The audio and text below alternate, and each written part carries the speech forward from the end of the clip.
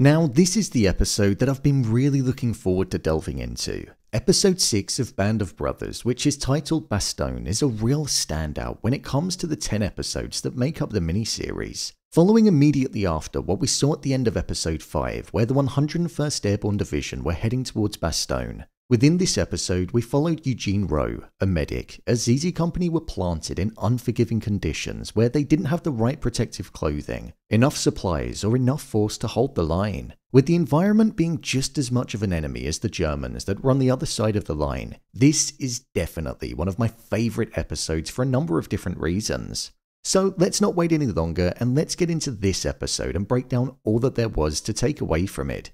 Here is a breakdown of Band of Brothers Episode 6 Bastogne. Just to let you know, this video will contain spoilers. The interviews.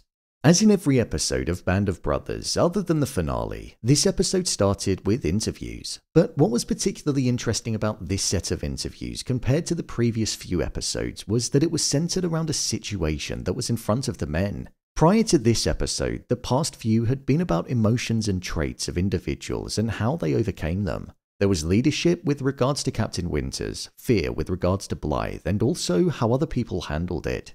But now, deep into the show, past the halfway point, it's like we almost know how these men were feeling. And it was time for the show to focus on the harsh conditions and environment that they were in, something which we knew would have naturally brought all of those emotions and traits to the forefront anyway. The interviewees in this episode consisted of Carwood Lipton, Lester Hashey, Earl McClung, Hank Zimmerman, Herbert Suerth Jr., and J.B. Stokes. Each of these men were describing their time in Bastogne, the place we saw the 101st Airborne Division heading towards at the end of episode 5.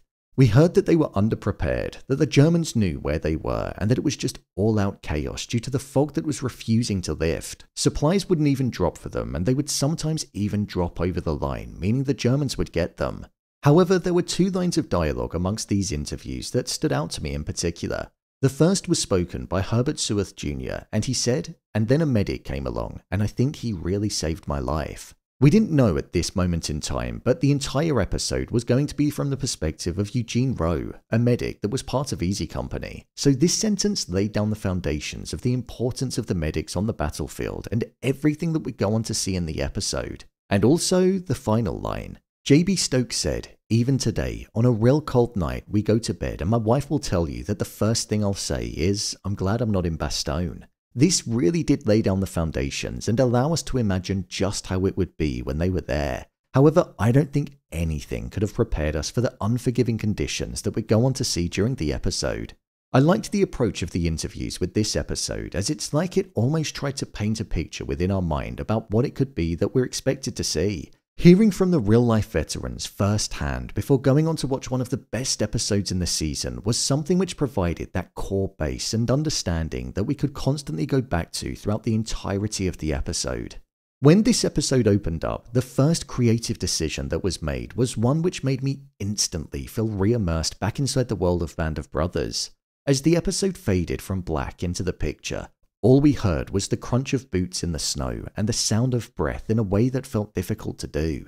And then when the image appeared, it was just white everywhere. It instantly got across to us that it wanted us to feel cold, and it wanted us to understand that these men were quite literally freezing due to the lack of supplies and gear that they had. Amongst the sound of the snow crunching was the haunting sound of gunshots being fired in the background, there to remind us why it was that they were there.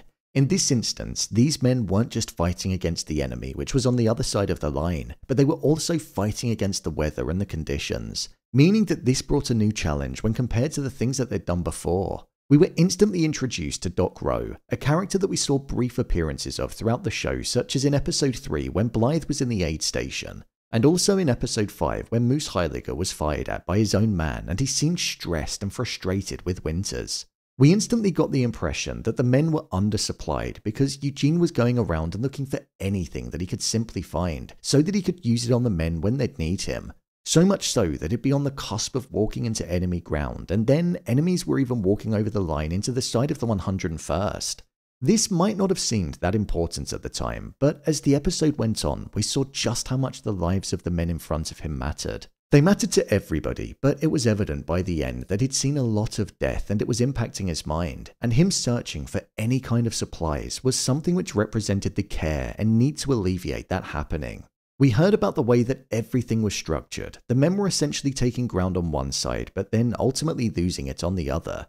This showed how they were pretty much surrounded and trapped inside. Plus, it also highlighted that what they were doing there wasn't really gaining any progress, and the men were being put through these harsh weather conditions, in conditions where they weren't really amounting to anything because they didn't have the means necessary to be able to gain the upper hand. Within the real siege of Bastogne, the weather was one of the main things which prevented Allied aircraft from attempting to resupply Bastogne, and it also stopped the Allies from performing ground attack missions against German forces. It was said to be the worst winter weather in living memory, and I think this episode and opening section really did get that across. The sheer amount of problems that Doc Roe was facing was something that was also made apparent. For example, Garnier said that he was peeing needles, Toye's feet were messed up due to losing his boots. Roe was looking for supplies, trying to find Doc Ryan, and also had many other people going to him with issues that they needed resolving personally, rather than due to being wounded.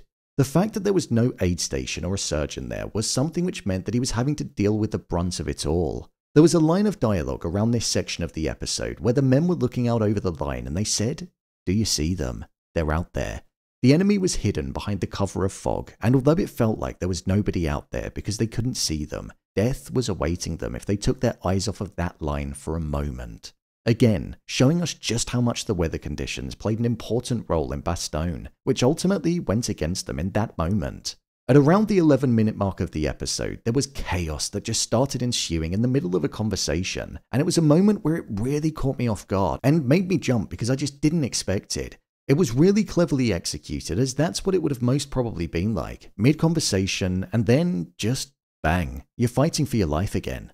After this, we were then introduced to Heffron for the first time in the episode, and he was coughing. Heffron's name was Edward Heffron, but people referred to him as Babe, as during that time many of the men had nicknames. But Eugene didn't refer to him as that. Something which Babe was confused and a bit frustrated by, as he said that only people such as doctors, professionals, and his mother called him by his first name. Eugene never really called anybody by their nicknames and only called them by their first names, which was very different to many of the men that were there and how we'd seen them act throughout the first five episodes. Again, I think this tied back into the amount of death that Doc Roe had seen throughout his time. He was a medic, and he did visually look scarred by all of the death that he'd seen. He was almost emotionless. So, by not getting that close to people to know their nicknames or truly even know their names properly, it showed that there was that level of detachment that was there. Detachment so that he wouldn't get hurt even more if the people that he got close to eventually ended up being killed. However, even though there was that sense of detachment, it didn't stop him from wanting to help the people around him. He went above and beyond.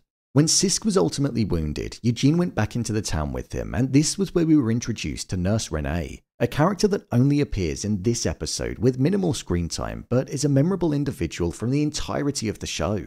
Renee was a nurse that was in the town and was essentially going through the same difficulties that Eugene was on the front line. The nurses didn't have any supplies. Death was ever present around them, which was shown to us by the haunting shot of the bodies piling up outside, and there was no backup beyond Bastogne, so they were quite literally isolated. Renee Lemaire was actually a real Belgian nurse that was within the aid station in Bastogne. It isn't actually known if Eugene Roe ever met Renee in reality, which does make this story potentially fictitious, but it doesn't take away from the beauty that this story represented. Renee helped look after 150 seriously wounded soldiers per day, putting their needs first over her own, meaning she didn't get much rest or nourishment during this period. Renee and Roe's friendship that they formed in the show is one of mutual respect and how there can be care given during a time of death, devastation, and destruction. Even amongst all of it, people can still do good and the goodness in humanity can prevail. Within the show, towards the end of the episode, Renee was killed due to a bombing that occurred on Christmas Eve when it hit the aid station directly. This was something that did actually occur within reality, and Renee died in that exact way. It was said that she managed to save six soldiers from the building, but ended up dying when she went back to try and save the seventh. If that's not telling of the type of person that Renee Lemaire was, and the hero that she was, then I don't know what is. When Roe was back in Bastogne, many of the men went on a hunt and advanced forward over the line, but Roe was told to stay back, Whilst the men were out there fighting against the Germans, it would cut back to Rose sitting there just looking through the forest and hearing the sound of gunshots. He had a blank expression on his face, almost knowing that the gunshots probably represented people being killed, and him just being helpless sat there, not being able to do anything. This was where Julian was wounded and eventually killed in action and had to be left there. This was actually quite a heartbreaking moment in the episode because we've not seen somebody that was wounded being left behind before, and you could feel the guilt that was present in the men that had to leave him. They knew that if they tried to get him, then they'd be killed. Heffron felt the weight of Julian's death more than most people because they were good friends. Heffron even said that if anything happened to Julian, then he'd get his belongings and send them back to his family, but obviously he couldn't. Within reality, Julian's body was actually retrieved during nightfall, and once they had it, they asked Babe if he wanted to see his friend that was now deceased. Heffron declined seeing him because he didn't know if he could handle seeing his friend in that way. It was said that the death of Julian impacted Babe all throughout his life, even after the war, Babe never thought that Julian would be one of the men that would be killed. They both looked out for each other, and he thought that Julian was a good guy. After the war, Babe met with Julian's mother, and he broke down when he saw her. He also gave her the regimental scrapbook, which is something that he thought Julian would have wanted his mother to have. So that was one slight difference in the show the fact that we never saw Julian's body being recovered. The conversation that took place inside of the tarpool in the foxhole was one that I thought was quite important. We saw how Heffron was mourning his friend, how Joe had had enough of being the doctor, but we saw that Eugene hadn't had enough of being the doctor. There were probably three different mindsets that were all present in that foxhole. Even though Roe probably was done and his body language and mind was screaming that he was done, he knew that he couldn't vocalize it because it would almost make it become real if he said it out loud. After this, we were then in the final half of the episode and we saw that the fog had cleared slightly and supplies were now being dropped in the town. There was a moment where, as Eugene went into the aid station, there was a man that was in his dying moments. Eugene got involved and tried to help, but I found this to be such a haunting, helpless moment.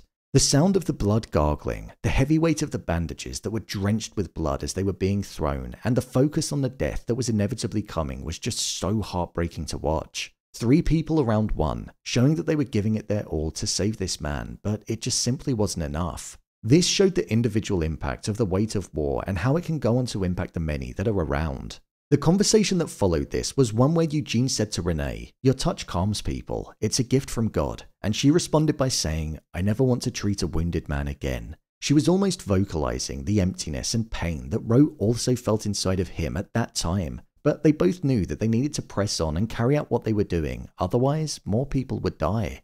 When Roe was back amongst the men, there was a moment where Smokey was hit and Eugene just absolutely froze. He wasn't responding to what was happening and didn't know what to do, as if he was just trapped inside of his own mind. Roe was quite emotionless as a character, but you do understand why when you think that he spent most of his day dealing with wounded people and people that had been killed. It was from this moment on where we saw him go more within himself, he was almost losing his sanity and becoming frozen due to the sheer amount of death that he was experiencing. It was finally getting to him, and Captain Winters was fully aware of that, again showing the great leadership mentality and mindset that Winters had in being able to spot it. During this episode, we also saw that Buck's partner finished with him whilst he was out there. It's something that you don't really think of, somebody breaking up with somebody when they're at war. But I imagine that was something which did happen. Buck couldn't do anything but laugh about it. This was something which was another step which led towards the mindset that we saw him have in episode 7. Ever since he was wounded in episode 4, his mindset had been changing for the worse, and he was almost like a completely different person. And I think this was just another moment that took something out of him even more. The final moments of the episode saw Harry getting hit, and following Roe helping him after again being frozen on the spot, Winters sent him into town to get a meal and to get some rest. But it was once he was there that he saw that Bastogne had been bombed, and amongst the rubble, he found the blue headband that Renee was wearing every time that he saw her, showing that she was amongst the dead. This was a really heartbreaking moment in the episode and showed that painful reality of war, death, and the innocent casualties that can be felt. Just like we expected as well, Eugene was numb to it. You could tell that he was hurting, but it's almost like, what more could he do?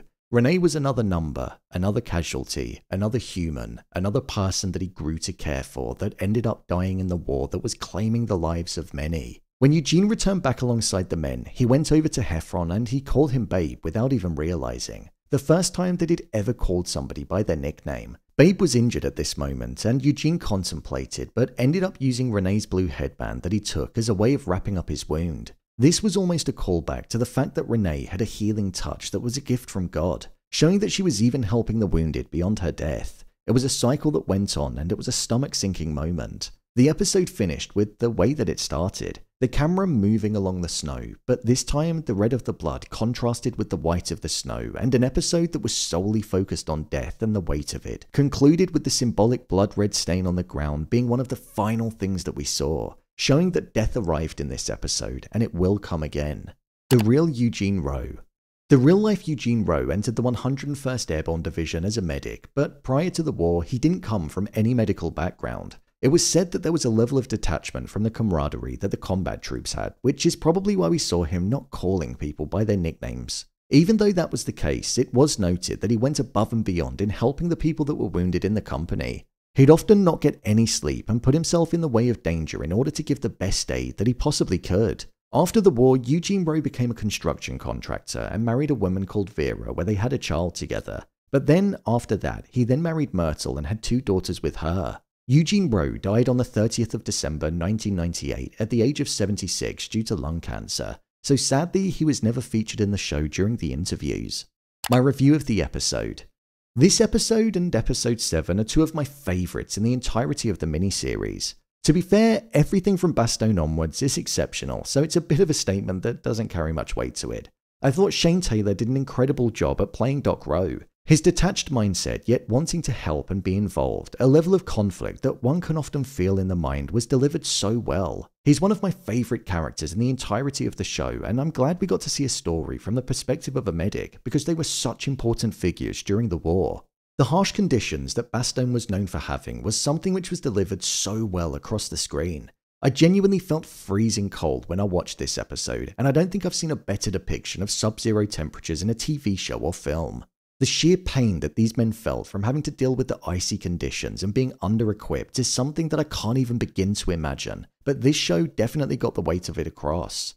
Bastogne was a visually beautiful episode. It might even be the best looking episode in the entirety of the season, but that's such an important thing. The environment looks gorgeous with the white blanket of snow. It's almost romantic, but there was absolutely nothing romantic about what occurred in the Ardennes forest, so it plays with your mind when you're trying to think about how to feel. I do genuinely love this episode, and it's one that I'll continue to rewatch over the years. In fact, it was the episode that I was most looking forward to rewatching when I started covering the show.